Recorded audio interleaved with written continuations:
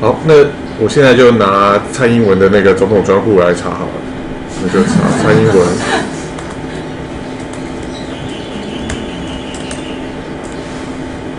然后他的总统专户，那这边可以到首次，然后下载他的会计报告书，然后哎，我们就直接用下载的好了。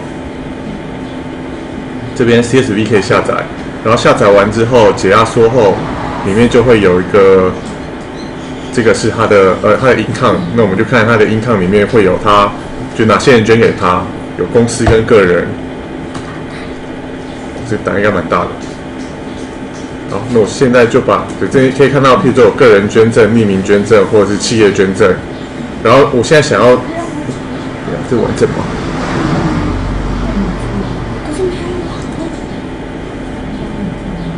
哎，你怎么变零星点了？哦哦，因为刚跳出来时那个，刚回到上一页时，他就回到那个没有搜寻的结果。好，是哦，为什么？好，那现在我们把这个 income，呃不，呃对，我们把这个 income 汇到 Google 试算表去，所以我们到 Google 试算表，然后不好意思，Tiff 借我借我用一下。好，然后我们就汇入它。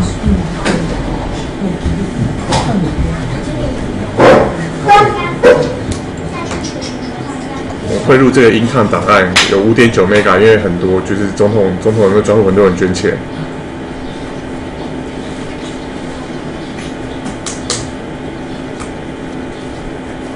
然后稍等一下，好，然后这个建议是不要勾起来，因为有时候会把一些什么民国的日期或者是统编会转成转成日期就会误判，所以这个就建议不要勾。嗯，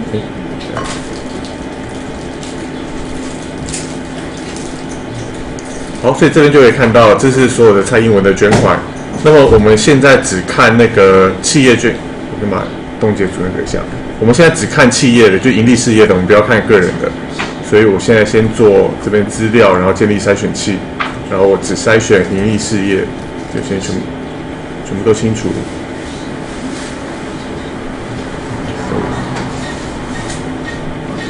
好，所以这边就是所有的就是捐给蔡英文的企业有哪些，跟它统一编号。那我在它右边多加一栏，是它的那个行业。然后主要是因为我在那个公司台湾公司资料做一个功能新功能，就是专门拿来查行业别的。用法是这样子，就是我可以我到刚刚的试算表这边，然后我复制所有的统编，然后我到这边上面有个小工具，然后大量行业别查询，然后在这边贴上，然后空行都拿掉，还有第一行那个栏位名要拿掉，因为它这边只能用统一编号而已，所以这个都拿掉。然后这时候按查询，它就会帮我把这一些统编的行业别全部列在右边。对，然后因为有的公司行业别可能有登记多个，那如果只想要一个的话，可以这边就是显示第一个行业就好了。这样子就只剩一个行业别。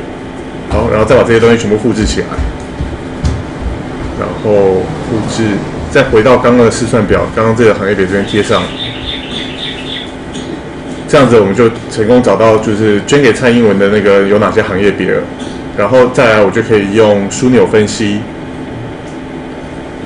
然后去计算，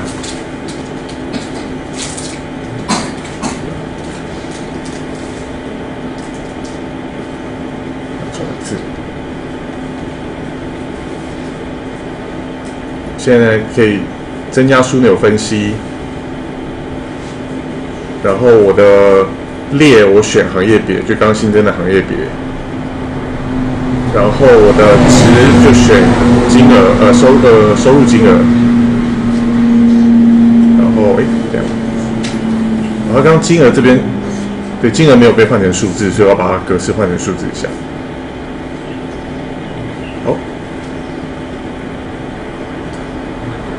六分六变，哦，这是抗的要换成上，是有六有六变。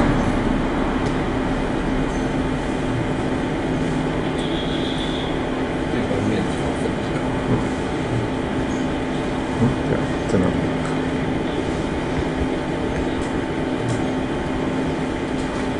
嗯，么那个没反应？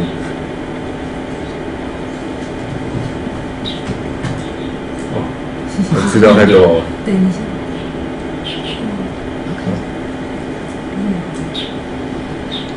他好像还是纯的样子。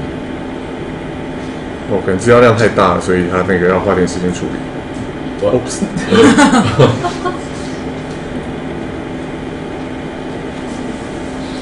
它没存到你刚才的修改，这边，然后值刚收入金额换成 sum。好，所以这样我们就得到说各个行业别捐给蔡英文的金额是多少，然后我这边排序也依照就是这个金额排序，就可以然后递减，就可以知道说，哎，有不动产不动产投呃，就是给蔡英文政治现金的金额是个十百千万十万百万千万一千七百万，所以就知道说，哇对啊，现在不动产业就是在政治现金的比例是非常高的，然后所以投资有价证券的行业是投资这些金额。对，所以用这个做法就可以就可以大概知道说某一个候选人他的政治现金的比例是来自于哪些行业。所以大家如果有兴趣，对自己的选区立委啊或什么都可以做一样的做法。好，是这样。那个土木住宅什么卡塞北在一起可能不止，对啊，就是那种土木营建什么的，那加起来他可能用他的登记的那个小公司去建，不是用他公司。比如说再写一下他的观念，他的总政治现金多少钱？有比例，总政治现金就是看比例。应该这边全部加起来，对，这是个十百千万十万百万千万亿一亿六千万。那就十分之一以上。这都是首次，哦，首次是就是选举那个时候，因为后面只要有剩下的钱的话，后面还可以再花用，所以第一次、第二次、第三，那那那都没有收入，那都只有支出而已。嗯好，就这样。 어, 네. 예.